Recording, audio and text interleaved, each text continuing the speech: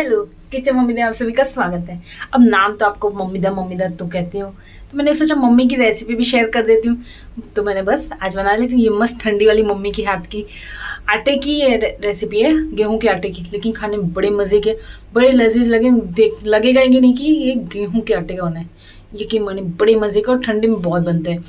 बड़े तो बस आज ये बनाए थे, ये देखिए मस्त लग रहा है ना, मम्मी के हाथ के किचन दा मम्मी में ये वाली रेसिपी सिंपल सा है, ज़्यादा ताम झाम नहीं है, जैसे पता है आपको, घर के रखे हुए सामानों से मोस्ट में बनता है रेसिपी तो बस, ये मैंने करीबन एक कटोरी की इतना आटा लिया है। इसे मैं लो फ्लेम पे कांस्टेंट चलाते हुए एटलीस्ट दस मिनट तो भूनूँगी। तो बस, इसे मैं कांस्टेंट चला रही हूँ। ये देखिए कलर चेंज होना चालू भी हो गया। तो बस, इसे चलाते रहना है, कम से कम दस मिनट और फ्लेम लो। अब देख रहे हैं कलर भी चेंज हो रहा है थोड़ा थोड़ा ब्राउनिश भी आ गया है। तो बस ये ऑलमोस्ट काफ़ी कलर चेंज भी हो गया देख रहे हैं तो वाइट से थोड़ा ब्राउनिश आ गए तो बस अब इसमें हम डालेंगे तो खसखस जो होते हैं ना, वो दो tablespoon and then one teaspoon कितना हल्दी डाल दूँगी।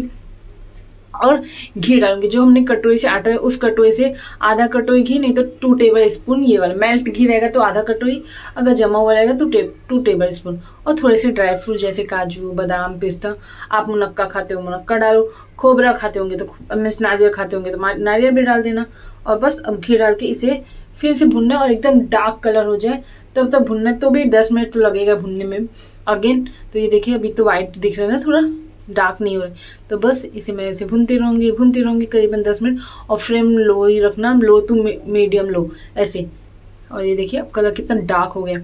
तो बस अब इसमें हम डाल देंगे शक्कर। मैं करीबन जो कटोरी से आटा थी उसी कटोरी से, एक कटोरी से थोड़ा कम थ्री फोर्थ कप के इतना शक्कर डाली हूँ।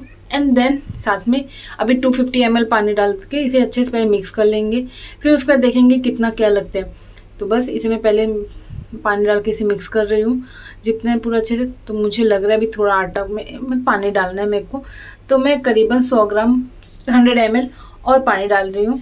तो बस इन सबको पानी डाल के और फ्लेम ना लो रखना मिलाने के टाइम तो बस मैं इसे पानी जो बच्चे हैं उसे हटा दें। ये देखिए हंड्रेड एम एल डालें एंड देन अब इसे अच्छे से मिलाना है। लो फ्लेम पे रखना है ताकि पहले आटा और पानी अच्छे से मिक्स हो जाए। फिर फ्लेम हम फास्ट करेंगे मीडियम तो बस इसे पहले मैं एकदम लो फ्लेम पे मिला रही हूँ अच्छे से, ताकि अच्छे से मिक्स हो जाए और कोई गुलठियाँ भी ना हो। तो बस ये देखिए, काफ़ी अच्छे से मिक्स हो गए। और ये छोटे छोटे आपको गुलठियाँ दिखते होंगे, वो गुलठियाँ नहीं है और ड्राई फ्रूट्स हमने डाला था। वो है तो बस इसे अच्छे से मिलाते हुए एकदम थिक हो जाए। तक की कढ़ाई छोड़ना चालू कर दे, तब तक हमें इसे अच्छे से मिलाना है। और फ्लेम मीडियम रखना, हाई मत कर देना। तो बस ये देखिए, कढ़ाई छोड़ना भी चालू कर दे और यकीन मैंने बड़े अच्छे लगते हैं ठंडी में ये हलवा। और गर्म गर्म खाते ना एक नंबर मज़े ही आ जाते हैं।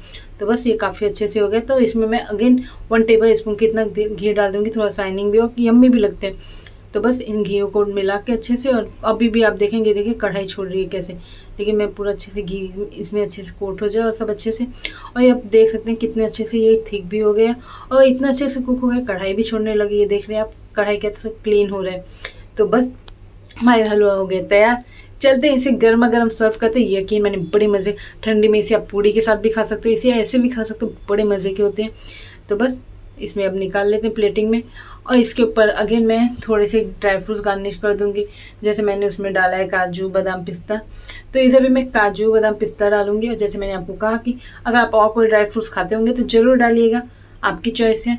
तो बस इसलिए इस तरह से। और आप देख रहे हैं कितने मज़े को कितने यम्मी और कितने टेम्पटिंग दिख रहे हैं। और उतने लजीज खाने में भी था। तो बस ये देख सकते हैं कितना मज़े को, कितना थिक बना, एकदम यम्मी सा। तो उम्मीद करती रेसिपी अच्छी लगी होगी। अच्छी लगी तो लाइक शेयर सब्सक्राइब करना बेल आइकन दबाना ताकि आने वाली सारी नोटिफिकेशन आप तक आती रहे। तब तक बाय बाय स्टे ट्यून